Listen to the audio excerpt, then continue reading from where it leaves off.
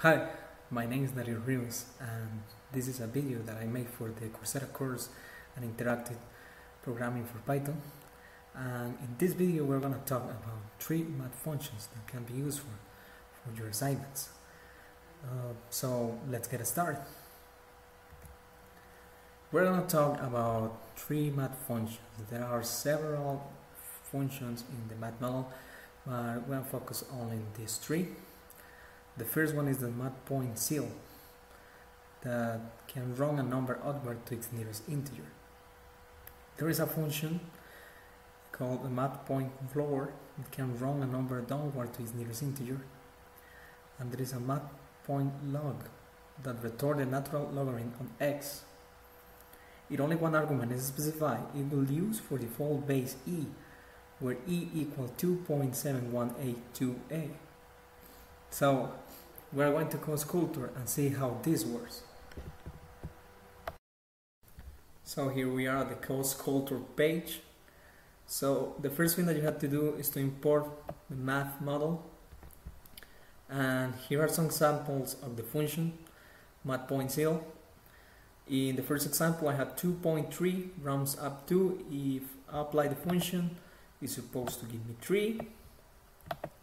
In the second example I had 0.895 and it applied the function is supposed to give me 1 because it rounds up to the nearest integer to the closest tens and in the third example I had a question for you.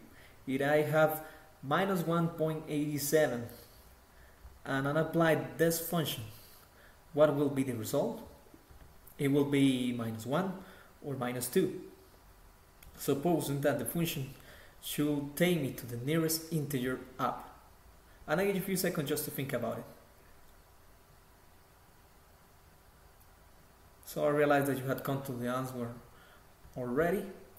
So it's supposed to give me minus 1 because it belongs to the closed tens or to the to up to the nearest integer so it should give me minus 1 in the last example, I had minus 0.9 and I apply the math zero function, it's supposed to give me 0. Now the last thing I will, I will do will is uh, run this code. So to verify the results, 2.3 rounds up 3, 0.895 rounds up to 1, minus 1.87 rounds up to minus 1 as you can see. Minus 0.9 rounds up to 0 and here we are the CodeSkulptor page again. And again I will import the math model to use the math functions. And uh, what I'm gonna explain to you this time is a math point for function that runs down to the nearest integer in this case do the opposite thing to the math point ceil function. Uh, here I had four examples.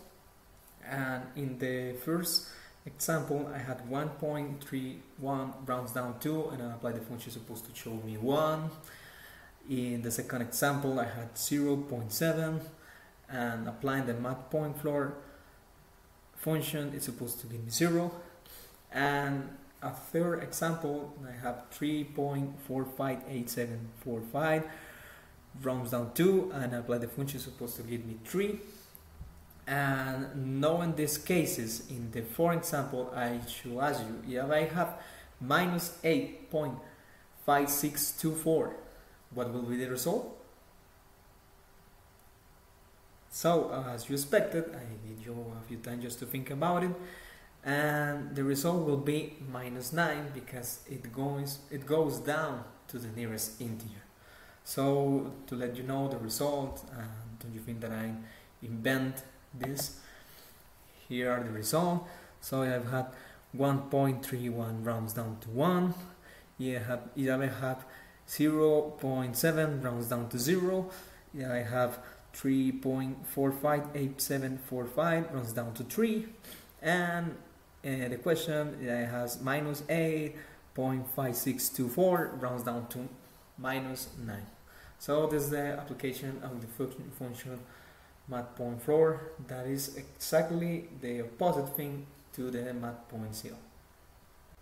So here we are CodeSkulptor again and this time I'm going to explain you about the function mat point log that this function is used to obtain the logarithm of uh, Uh, number x uh, that I should specify.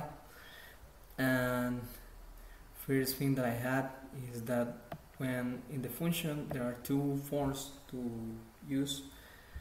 The first one is to specify just the number that I want that I want to obtain the result. And if I don't specify a base what it will do is will take default a default base of mat point e that mat point e is 2.71a and so on. If I specify a second parameter for the mat point log function. What it will do is use the second parameter as the base. So in this case I had mat point log 1000 and it will take 1000 and give me the logarithm of that number in the base of 5 and in this another example I had something very similar. I had the mat point log function and I had 100 and it will give me that number in base 4 that's supposed to give me the result. So I will run the code. And you will notice that I had numbers with a lot of decimals.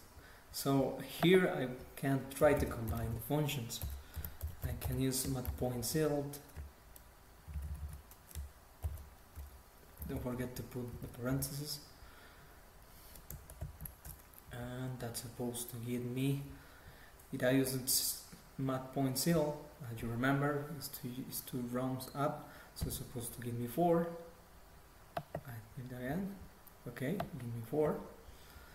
And if I do a similar thing but using the function floor it should give me 3 so this is another way to apply the functions try to combine them and see what see what happens what results can you can obtain on applying this function that could be useful for this uh, second assignment or for the next the next ones well that's the end of this lesson. So I hope that all of the functions that I had with you here were useful or are going to be useful for you. And the rest that I need to say is had fun with the coding. See you in the nearby future